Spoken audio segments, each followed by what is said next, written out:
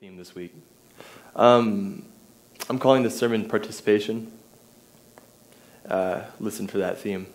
So, to begin with, I think I'm going to start with who we are as Christians. There, uh, there are two things to consider when we take communion first, who we are, and then what we do as a result. So, we Christians are a distinct people group. We have a lineage and a family tree like any other group of people. Uh,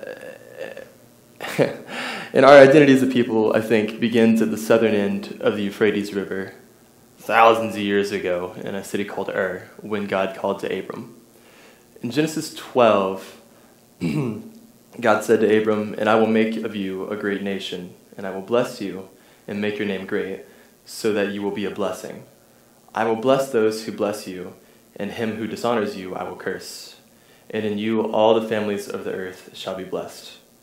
Um, just as a side note, take note that this isn't part of any covenant yet. God is just making a promise to Abram uh, that he will bless the nations through Abram's descendants, regardless of how well Abram's descendants actually keep that covenant. Like, this is our God who's made a promise to us, regardless of how well we uphold uh, the requirements that are placed on us. Um, he's, he's faithful. So, as God promised to Abram in Genesis 15, the Jews, be, I'm sorry, the Hebrews became enslaved in Egypt for 400 years, waiting on the same promise of deliverance uh, that was made in that same passage in Genesis 15. And, and you know the story of the Exodus, you know the story of the plagues, the parting of the Red Sea. Um, VeggieTales covered it pretty well. But in Exodus 12, God commands Moses to have the Hebrews celebrate the Passover meal you know, with the blood of the lamb and the unleavened bread, and to con- continue celebrating it as a reminder, first of all, of what God had done for them. He delivered them from Egypt. And second of all, of how they had been united as a people in deliverance. Um, the same goes for our modern day communion. Uh, we'll see that in a moment. Um, the Jews, they did as they were told, and year after year, they celebrated the Passover meal, uh, commemorating their heritage until about 30 AD. Um, and the Jews actually continued doing it. But at the Last Supper, when Jesus was sitting around the table with his disciples, uh, Peter, Paul, James, John, they were all expecting Paul, not Paul. Uh, his disciples were expecting the annual commemoration to their heritage as the people of God. But Jesus, he switched the flip. He gave a new command and he ordained a new meal. Luke 22, 19 through 20 says, And he took bread and when he had given thanks, he broke it and gave it to them, saying, This is my body, which is given for you. Do this in remembrance of me. And likewise, the cup after they had eaten, saying, The cup that is poured out for you is the new covenant in my blood. You know, of course, the disciples didn't understand any of this at the time. They were super confused. Uh, and then when the crucifixion came, their hopes were, uh, were dashed upon the rocks, so to speak. But only after the resurrection, when Jesus came back to them and opened their minds to the scriptures, uh, they understood. They understood what all this meant, what that new covenant was. But we, on the other hand, having the benefit of both Old and New Testaments, are able to make some comparisons. We see that the Exodus is to the crucifixion what the Old Testament is to the New Testament. The Passover meal is to communion what the Old Testament is to the New Testament but and they're, they're similar in this way. Um, the Exodus and the crucifixion, they are both our deliverance as a people. They're both the way that God worked salvation for us. And the the Passover meal and the communion meal, the La- the Lord's Supper, they are a sign of our identity as His people. Um, Peter makes this connection. He, he puts it fairly simply in the days following Pentecost when, uh, when he has gathered a, a, group of Israelites, a group of Jews that are standing around. After Pentecost, they were amazed at, at the miracles that, that Peter and his friends were performing, and they had all gathered around to see what was going on. And Peter took that chance to explain to them the gospel. He gave them the gospel, and he told them who Jesus was. He told them that they had, that they had killed the Messiah. But he calls them to repentance. In Acts 3.25, Peter says to them, You are sons. The NIV says heirs, and I like that better you are the sons of the prophets and of the covenant God made with your fathers, saying to Abraham, And in your offspring shall all the families of the earth be blessed. Peter draws a line all the way from Abraham to the present day. He says, No, you are the same people. And um, You're the same people, but there's been a change. The fulfillment has come in this one Jesus Christ. So repent and be reconciled to God. And in your offspring shall all the families of the earth be blessed. And this is the blessing that we should be called the sons of God. That's 1 John 3. That we are brought back into community with our Creator, and that there is nothing separating us from Him. Paul says in 1 Corinthians 11:26, "For as often as you eat this bread and drink this cup, you proclaim the Lord's death until he comes." And this, this is our celebration, the communion meal. Uh, N.T. Wright, he, he writes as Tom Wright here. He, he's writing to the everyday Christian in, in a book called The Meal That Jesus Gave Us. He explains that the taking of communion holds in tension the past, the present, and the future in a way that is central to our identity. Whenever we take the bread and cup, we remember that Jesus died for us, of course. And we choose at each communion meal in the present to die and be resurrected with him. And, and in the future tense, we remember that he is coming back for us. And we consider all these things at once when we take communion.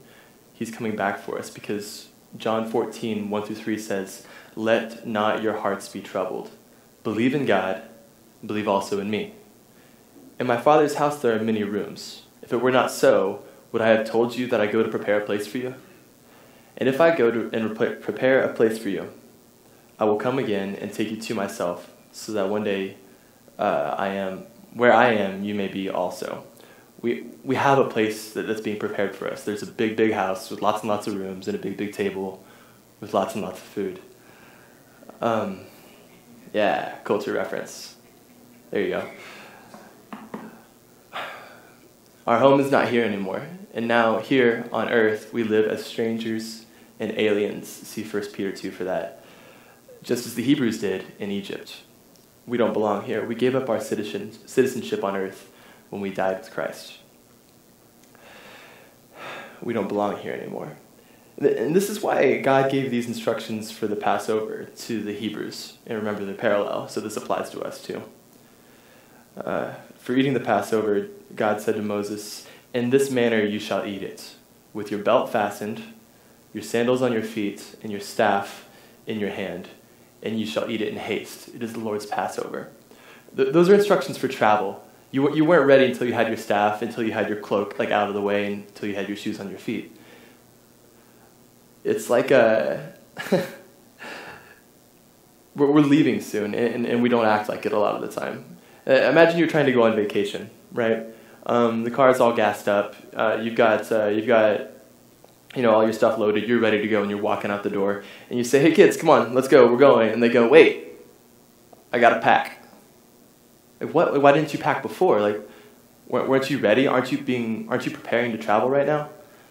And, this and this is a hard issue. You know, it's not like we actually have to like put together a bug out bag for uh, for when uh, Jesus takes us away, but we need to be preparing our hearts and living in such a way that our actions show that we don't belong here because we're not citizens of this world. When we come together to celebrate, we are to come ready to travel. That means we prepare our hearts out of which action flows. so watch, I'm going to count. Tickets are purchased our luggage is packed and we're leaving. Past, present, and future all together in a single moment, and this is communion. This is the sign of God's plan to reconcile us to Himself, captured and commemorated in a single act. And it speaks more than any number of words can. I could get up here and like, uh, what, like give a sermon on communion, on communion every week, but it just wouldn't be the same unless we actually celebrated it, unless we actually took the meal.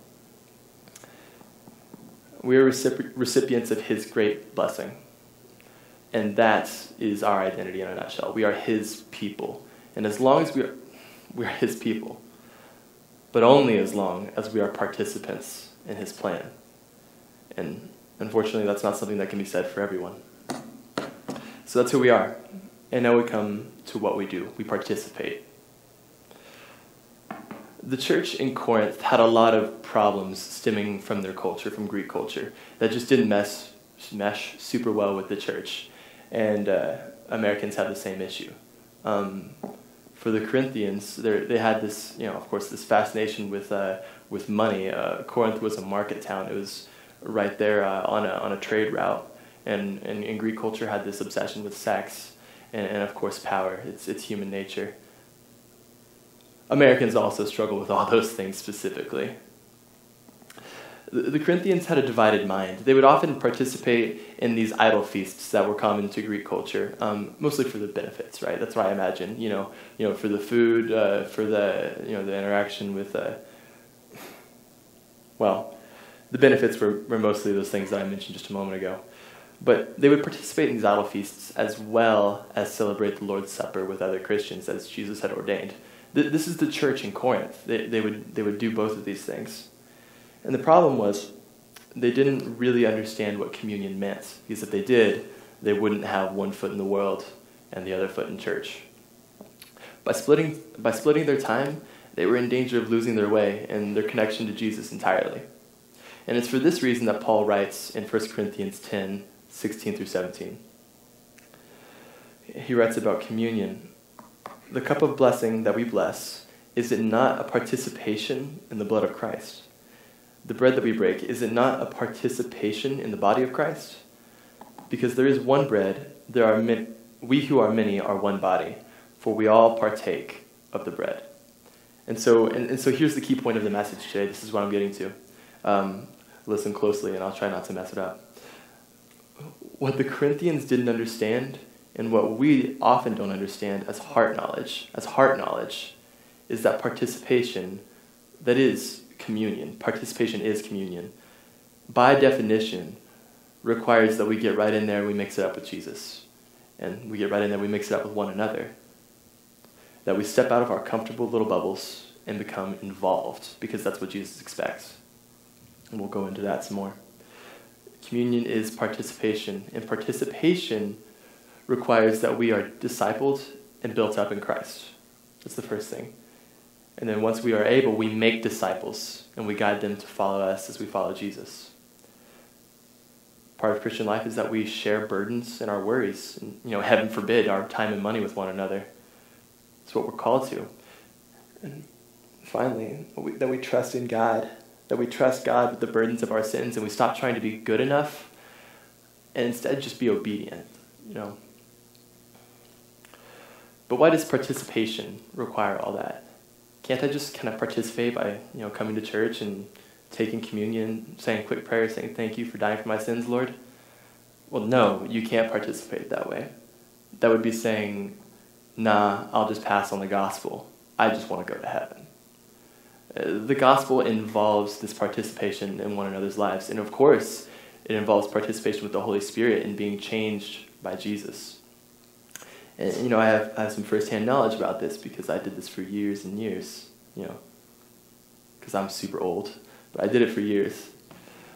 Um, Paul uses a word in 1 Corinthians 16, uh, which we've seen and we've heard before. Uh, I'll, I'll read 16 again. This cup of blessing that we bless, is it not a participation in the blood of Christ? The bread that we break, is it not a participation in the body of Christ? The, the word that he uses is koinonia. Here it's translated into English as participation, but in Acts 2:42, and they devoted themselves to the apostles' teaching and to the fellowship, to the breaking of bread and the prayers. In Acts 2:42, it's rendered fellowship. Participation and fellowship are the same word in the Greek. So, so this week we're talking about communion, about the breaking of bread. But understand that Paul is telling us that communion is about active, messy, an ongoing fellowship with both our brothers and sisters in Christ and with Christ. It's not about the bread and the juice. It's not about the emblems. The, the root word of koinonia is, is this word koinos, and there, you can see how they're similar. Um, koinos is used to mean impure or unclean or unholy. Um, remember, holy means to be set apart, so unholy would be not set apart. And all these are negative words, but that's not really necessary for the understanding of what's happening here.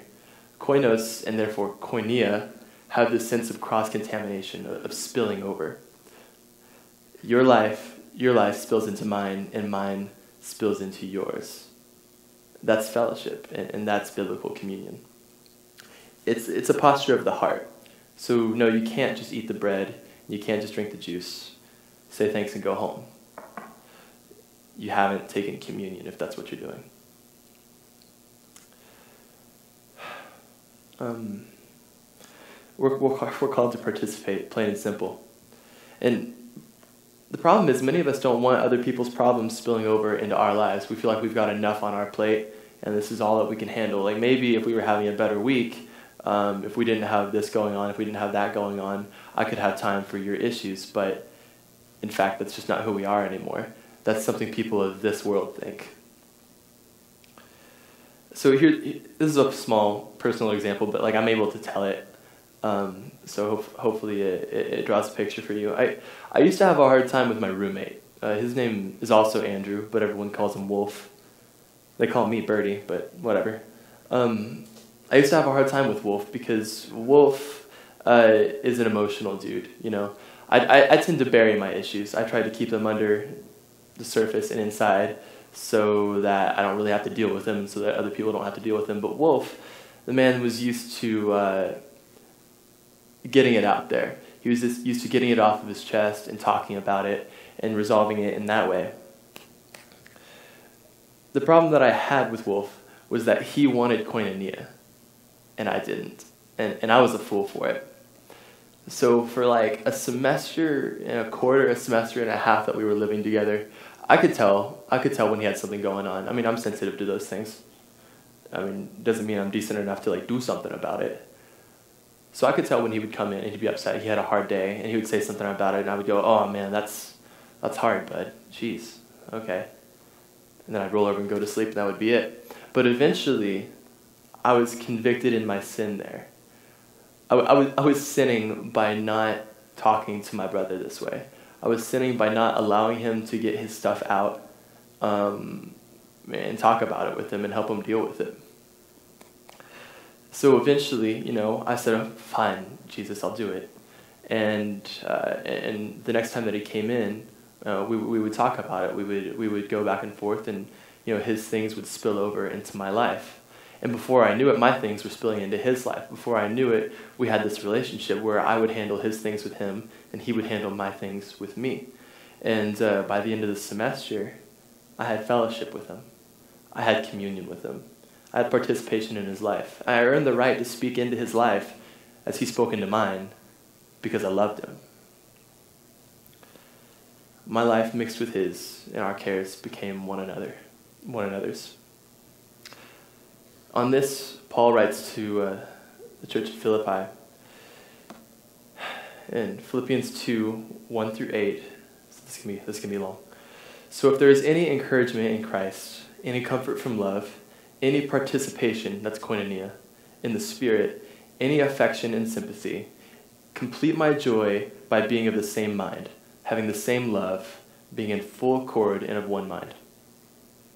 Do nothing from selfish ambition or conceit, but in humility count others more significant than yourselves. Let each of you look not only to his own interests, but also to the interests of others. Have this in mind among yourselves, which is yours in Jesus Christ, who, though he was in the form of God, did not count equality with God a thing to be grasped, but he emptied himself by taking the form of a servant, being born in the likeness of men.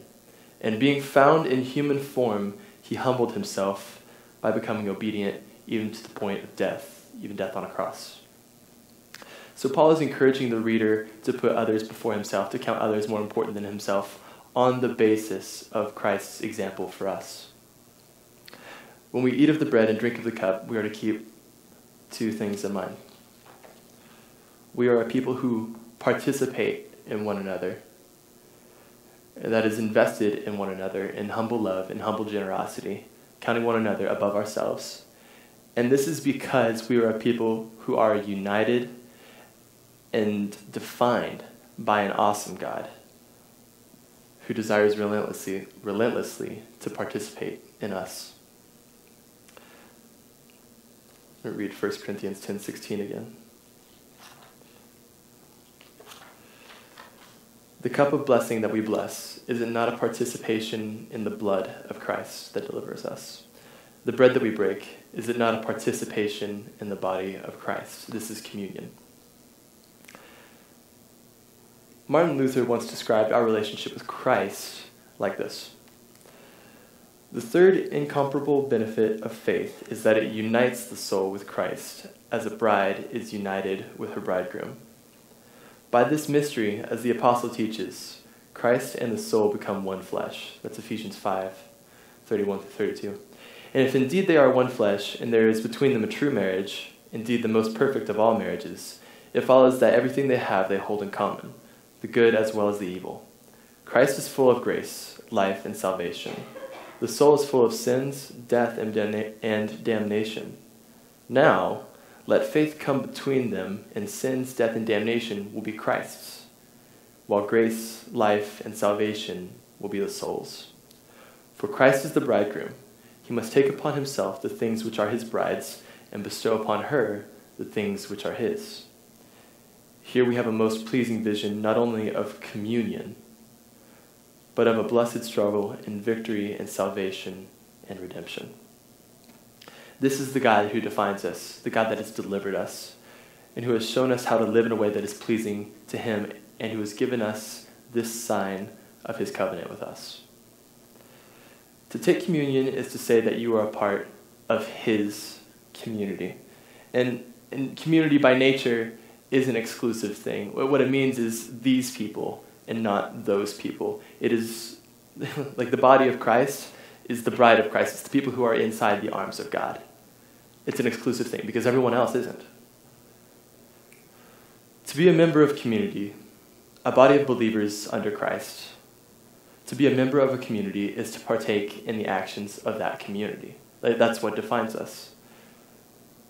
We are to be discipled and built up in Christ. I've gone through this before. We're to make disciples and to guide them to follow us as we follow Christ. We are to share burdens, worries, and our time and our money with one another. We are to trust God with the burdens of our sins and stop trying to be good enough and instead just be obedient. Acts 2.42, I'm going to read it again. It says, And they devoted themselves to the apostles' teaching and to the fellowship, koinonia, and to the breaking of bread and the prayers. These are the necessary actions of one who should call himself a Christian, a, a disciple, a part of the family. 1 Corinthians 11, 26 through 29. Remember, the Corinthians had all these issues. For as often as you eat this bread and drink the cup, you proclaim the Lord's death until he comes. Whoever, therefore, eats the bread or drinks the cup of the Lord in an unworthy manner will be guilty concerning the body and the blood of the Lord. Let a person examine himself then, and to eat of the bread and drink of the cup. For anyone who eats and drinks without discerning the body eats and drinks judgment on himself. And uh, at this point, I think it would be a good thing now to evaluate whether we are doing these things or not. And if not, let's not lie about it anymore. Let's not pretend. If you're not a part of the body, if you're not doing these things, let's not pretend that we, that we are a part of the body. And let's not profane the bread and the cup. Let's keep the family name clean. Because we're here to represent Christ to the world. That's, that's Matthew 28. And we say this so that when new members come in, they aren't led astray by false Christians.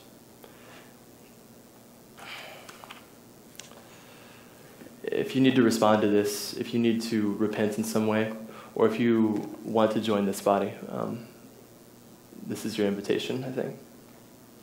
Thanks.